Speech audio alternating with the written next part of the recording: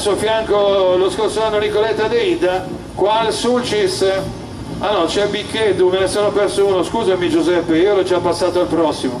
Giuseppe Bicchedu e Alessio Azzori, Giuseppe di Carbonia, insomma l'anno scorso lasciamolo perdere, secondo Relli passato a una Citroen Saxo.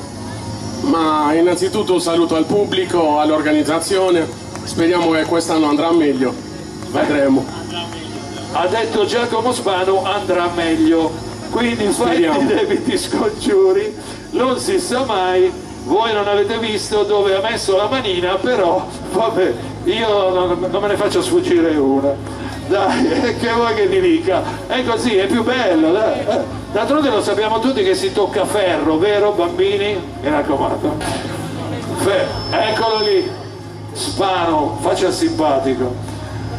Allora, Bicchedo Azzori io avevo già presentato a Unito, ormai lo rifaccio. Ci si riprova? Perché fissa.